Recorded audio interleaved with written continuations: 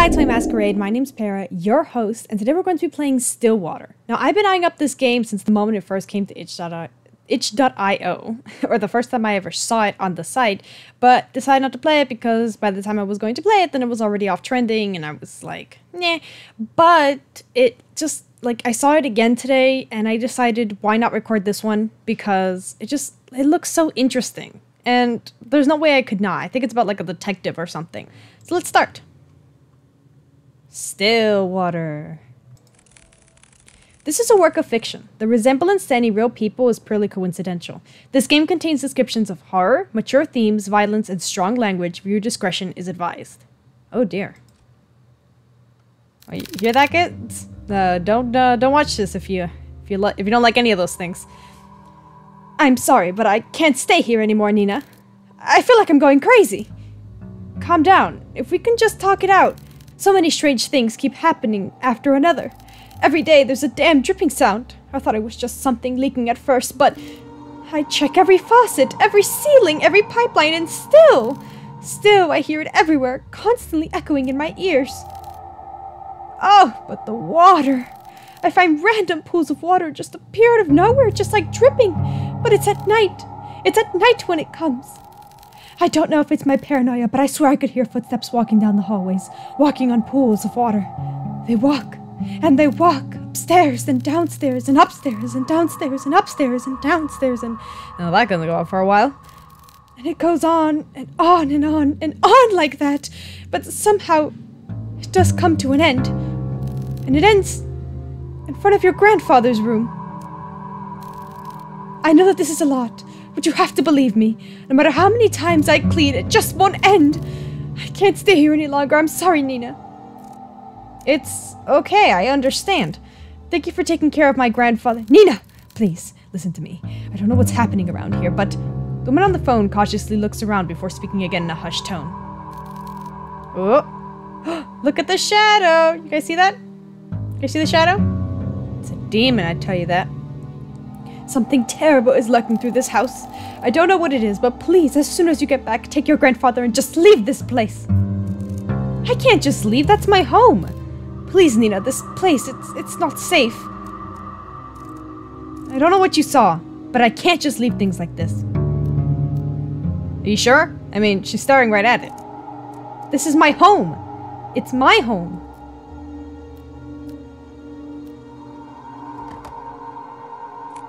Just hung up on her. Dinner, 7 a.m. Or diner. Amid a foggy morning, there sits a man by the corner of a booth. He drinks black coffee and, depending on his mood, occasionally orders a donut. And today, it was just black coffee. Ugh, goodness gracious, no kidding. You look like you just got beat two times till Sunday. Ugh. I swear I've never seen that amount of paperwork in my life. A freaking mountain worth of it. You're a valuable member of our team, Hugo. My foot! I'm starting to believe that I'm bamboozled into joining their agency. Hugo Laurent, age 30, takes a good look at his cup of joe and chugs it all in one sitting. He then continues to grumble to himself about last night's grueling work at the office. I really need a different job. As he contemplates his poor life choices, he looks out towards the early mist. There was something inherently terrifying about the fog to him, how it engulfs everything and nothing. Even if it disappears, it'll always leave behind traces, proof of it remaining. Even in a quaint little town like this, I can't even run from my fate, I guess. Hugo finally stares at the compiled newspaper clippings he put together. I'm sorry, this music is, this music is beautiful. I have to put it up. Ugh, this music, man, it reminds me like every anime I've ever watched. Just that case closed, but more calm. Hugo finally stares at the compiled newspaper clippings he put together. Some of them from recent events, but mainly all were past headlines of missing person cases. No matter how many times I see this, it's still just as hard to look at. Fixating case after case, he can't help but remind himself that there is a reason for all of this. An all too personal reason. Seeing strange things come with a price. In the end, I'm the one doing this to myself. Sounds rough, may I join you? An annoying, familiar voice interrupts his train of thought. He slowly looks up to see the one responsible, although reluctantly. Uh-oh. Oh! My boy! Ah, look at all these sexy boys. Hugo, if you just stood up a little straighter, look how sexy you'd look. Hmm? Hmm? what straightness does to a man, or he might already be standing up straight, but his jacket's just really puffed up in the back, so it makes it look like he's slouching. I wouldn't know. Good morning, Hugo. Hugo scowls and turns away from him. He then gathers the files and shoves it back into the binder. Meanwhile, the tall man takes this as initiative and sits at the opposite end of the booth. He greets the waitress passing by and orders himself the hefty body breakfast special with an extra plate. As usual, the waitress is happy to oblige and goes back to the counter to relay his order. The man then looks back at Hugo. He sees the empty cup and the now jumbling newspaper Kiplings, all while Hugo is trying to ignore him. You really should eat something with that black coffee. Not ordering any donuts today? I'm fine, Noah. I'm just not in the mood, okay? Not even a little? There's a momentary silence between them before Noah disturbs it once more. Well, too bad for you. I ordered a big breakfast for the two of us. Wow. As if the world could grace Noah with an even more perfect punchline, the food arrives. Why the hell did you order for the two of us? Just eat what you want to eat, don't worry about me. Wow, this looks so delicious, right, Hugo? Are you even listening to me? Come on, we both know that if you don't eat now, who knows when or will, and I'm not about to let you faint again. So, open wide.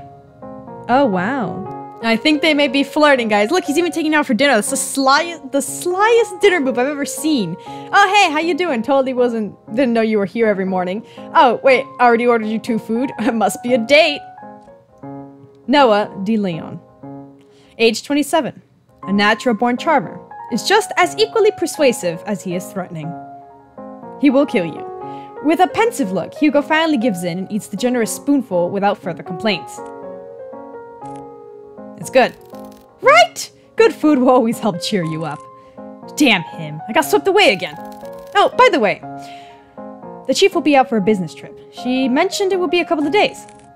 When did she tell you this? I didn't hear anything about it. Hmm, yesterday, I think? Yesterday? She told me to sort out the cabinets yesterday. She didn't mention anything about a business trip. I guess it was a pretty summit one. Well, I mean, she did tell me to tell you. And lucky me, I know where you go every morning. You know what? I'm not surprised anymore. Well, what do you want to do? We technically have the day off. I'm gonna head back to the office. There's a couple of boxes I didn't get a chance to sort out.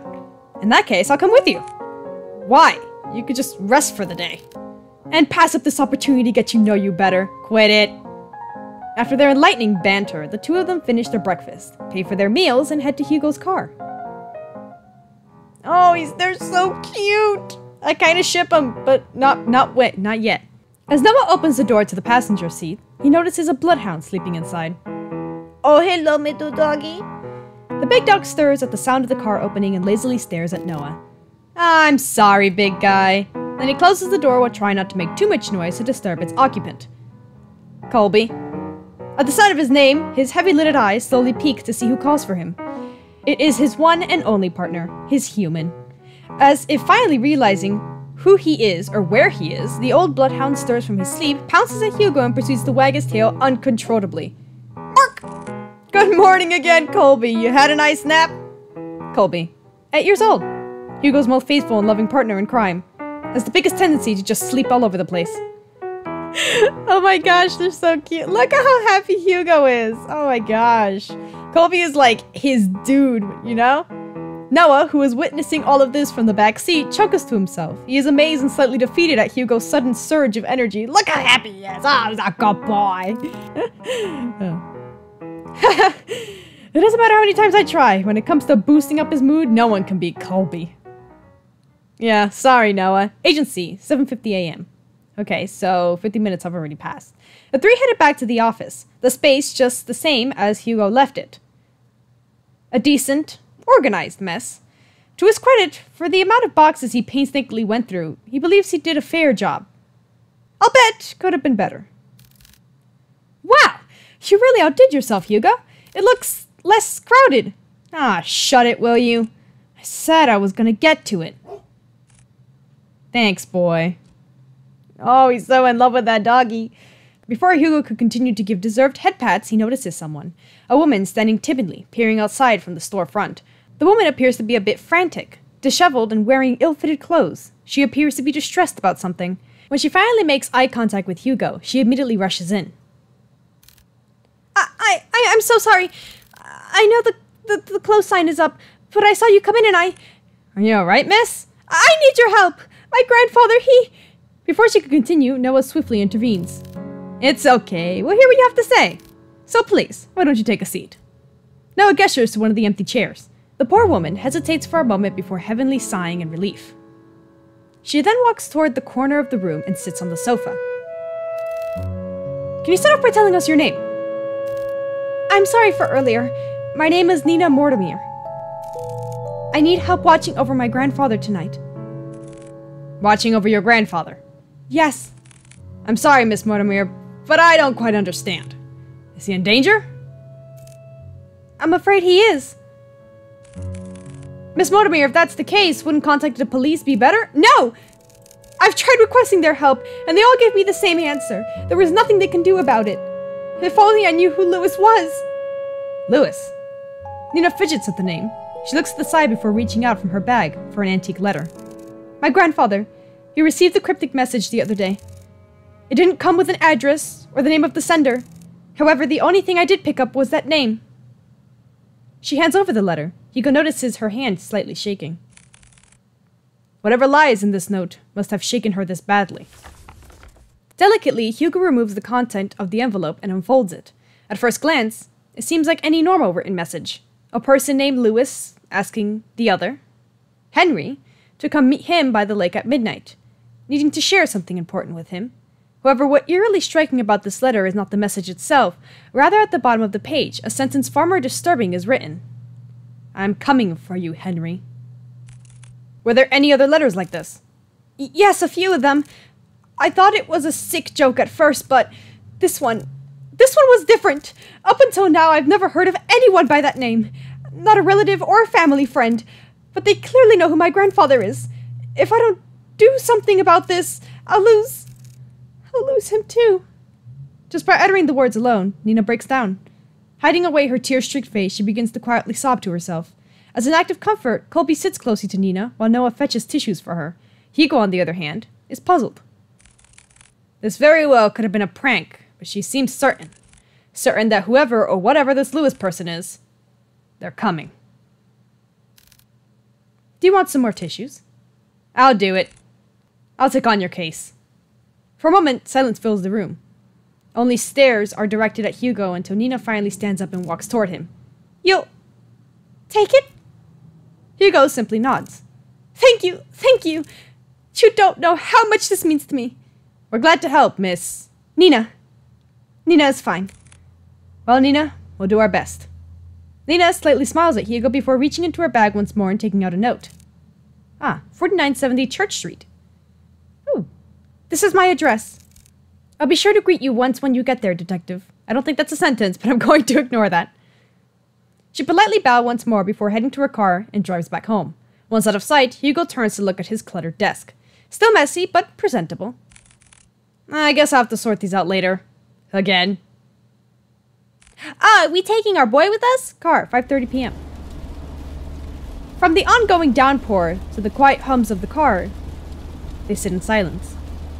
Still miles off from their destination, Hugo constantly checks the rearview mirror. Noah, who usually chats his ear off by now, sits completely still. He looks onto the passing streetlights, reserved and distant. Hey, you're a lot quieter than usual. What's wrong? Ha! This is a surprise. Have you been looking at me, Hugo? No, you idiot. You usually just talk a lot, that's all. So, do you miss me talking a lot? Just say it. I didn't want to offend Nina earlier, so I kept quiet until she finished. But it's her last name that caught me off guard. Have you heard about the Mortimers? They're a pretty distinguished family. Well, they used to be. What do you mean? They've been struck with so many tragedies that over time people begin to believe they were cursed or something. Every other year I would see a headline on the local news about one of the family members' deaths. And you know what's strange? All of them have been labeled as accidents.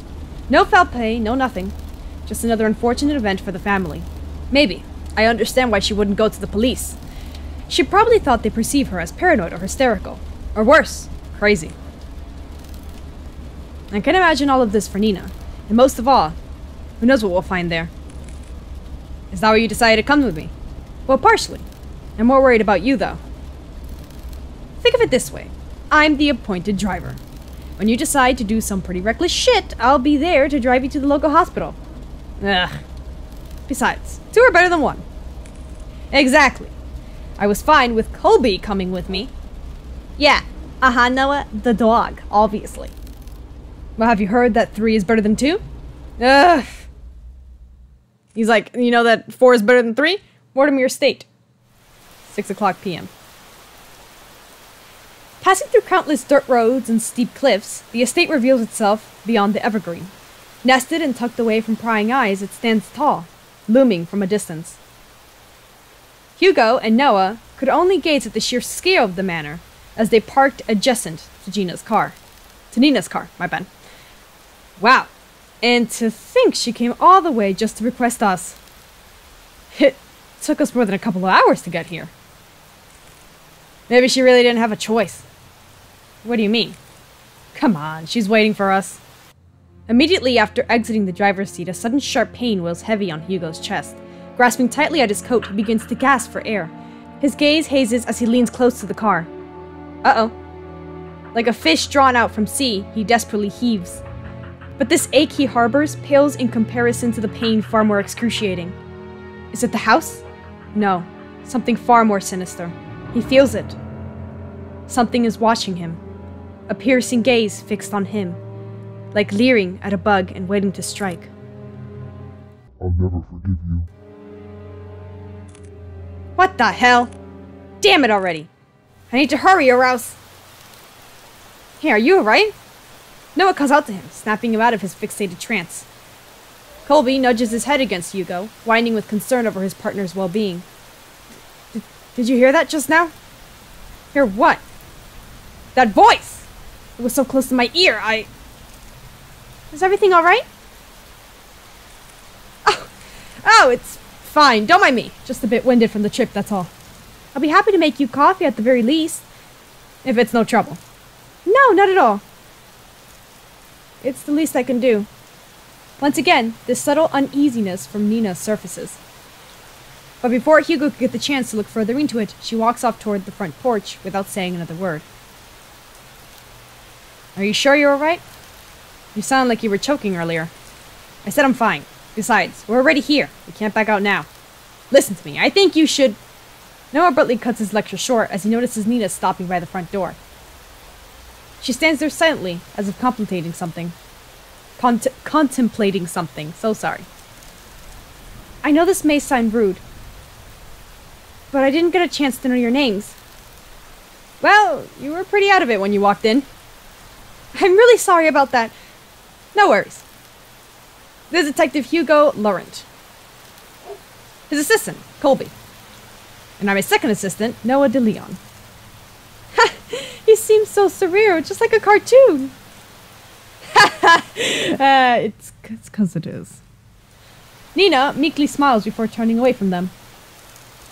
I haven't been quite honest with you, Detective Laurent. Uh oh. Ah, Have you been lying to me? Just like before, as if carefully choosing her next words, she decides that in this situation, words are not enough. You'll see for yourselves what I mean. And with that, Nina enters the house, leaving the three to follow behind. Hugo was about to enter to the foyer when he feels a tug on his arm. Don't forget what I told you. If something happens, let me know right away. You'll be the first to know. And with that, Noah releases his grip on Hugo. They proceed to head in, not knowing what awaits them beyond the door. Greeted with a brightly lit hallway, Hugo notes that the interior is just as grand. Adorned with floral accents and antique paintings, it excludes an elegant charm found only in a replacent, a re- replacent house such as this. However, Hugo notices something even more distinct than the splendor. The house is much more terrifying inside than out. Please, come this way. I don't trust Nina. Nina could be the demon for all I know. Bracing themselves, they enter the dimly lit drawing room. At first glance, Hugo could not discern the silhouettes situated at the far corner. However, on closer inspection, he now understands the reason for all of Nina's unsettling vagueness. Grandfather, we have guests. Gr- Grandfather? Grandfather? Nina, that man looks younger than you. What the hell's happening? He's the sexiest man I've ever seen. Look at this Bruno mother flipper. no, but seriously. Grandfather. Sitting on the armchair is a young man. He is dressed in a white collared down dress shirt, tucked in with black sacks and black penny loafers. Staring only at the window, the young man sits there, dazed with little acknowledgement of the people around him. Still, motionless, like a doll. Grandpa, these are the people I spoke of. This is Detective Laurent and his two assistants, Colby and Noah. They're going to help us. Even after introducing them to the head of the Mortimer estate, Hugo and Noah could not help but feel unnerved. This man before them is supposed to be frail and older than any of them, and yet here he remains, forever unchanging, forever young. They've come a long way, so I'll be making some coffee. Would you also like some, Grandpa? The young man still does not reply back, never glancing at Nina or anyone else in the room, only fixed on the rain. I'll be sure to make a cup for you too. She then timidly gestures to Hugo and Noah back, back to the fjord. Bearing more questions, the two follow Nina inside, outside. But before they leave the drawing room, Hugo takes one last look at the young man. There is an all too familiar air about Henry Mortimer. His eyes, they're similar to his own. Whatever he must be longing for, Hugo knows it will not end well. Nina, that man. Yes, he's my grandfather. The one I asked you all to watch over. I, I know this is hard to believe, but Nina draws something out of her pocket. It's an antique picture of a young man with slicked back hair wearing a luxurious suit. He appears to be posed and refined, a complete contrast to the current Henry Mortimer. This isn't much to go by, but I swear he is the same person. Then why does he look so. so young? Happened a few nights ago. I was on my way to get a cup of tea when I heard a loud thud coming from my grandfather's room. I was worried that something fell over, so I went to go check. When I opened the door, I found him collapsed on the ground. I rushed to help him, but when I did, he looked so different.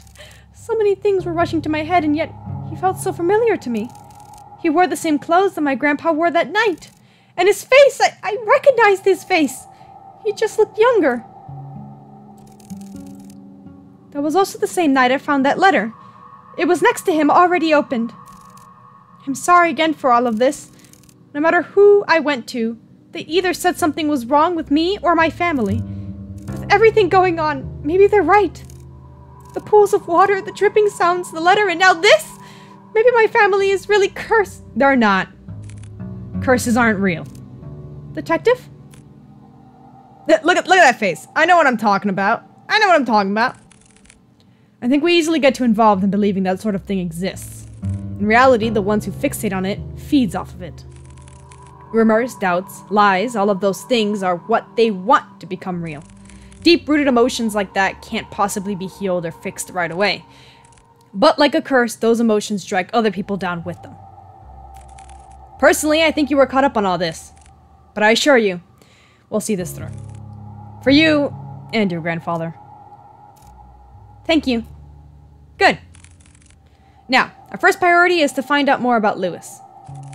Nina, the letter you showed us back at the agency, do you have it with you? Ah, uh, yes, it's here. Do you mind if I fire it for a bit? I'll be sure to give it back. Of course. I mean, I don't think she wants it back, but okay. I'll check upstairs. Noah, you and Colby check the ground floor. Got it. Before they leave to do their own investigations, Hugo grabs a hold of Noah's shoulder. He leans in, close enough for Nina not to hear. Keep a close eye on Mr. Mortimer and Nina. Especially Nina. Right? I don't trust Nina. What the hell's going on? Okay. I'm counting on you. You too, boy. That was a little cutie. And with that, Hugo heads upstairs, starting his investigation. Okay, let's end it here. Mortimer State, 11.30 p.m. Let's end it right here. Uh, it's almost already been 30 minutes, and I don't really want to over overwork my time. You know, I want to save some for the next episode, which will totally finish it because I don't want to like get really far and then stop and then do the next episode and then realize that I only had like what 11 minutes left. No, no, I want to space it out perfectly this time. So let's end here. This is a good stopping point. We're stopping right where we're gonna get to the investigation. I totally believe it's Nina. There's something suspicious about her, and I mean, does nobody else notice the grandfather's eyes glowing green? Must just be maybe Hugo probably notices. He looks like a he looks someone who can like sense supernatural things, right? He can probably sense it. He's probably like really good at it. Uh, so far, this is a blast. I am loving this. I, I knew this was gonna be good. I just, I fell in love with the art style. Gosh, okay, don't hate me on this, but I really ship Hugo and, oh no, what's his name? Ah, I can't remember anymore. How did this happen? I can't remember his name, but I, I really ship him with blue hair dude. Gosh, I'm so bad at names. Like, I look away for one second, it's gone. It's Hugo, and it, it, has gone. Okay, well, I had a blast so far. I mean, this game, uh, it's been a while since I really enjoyed playing a visual game. I mean, has it been a while since we read one? Not really. I mean, wasn't Trick or Treat sort of like a visual game? This one's 100% just a visual game. I have no clue if it's going to be like option choices. I actually have to check if I'm going to get different endings even. But, uh, so far, I'm enjoying this, and I hope that you guys are enjoying this too. So, thank you everyone for coming to today's masquerade. Um, I upload every Friday, so if you want to see more gameplay videos, then don't forget to subscribe to get an invitation to my next masquerade, and click the like button to get this video to other people and to support me, your host, Para. Bye!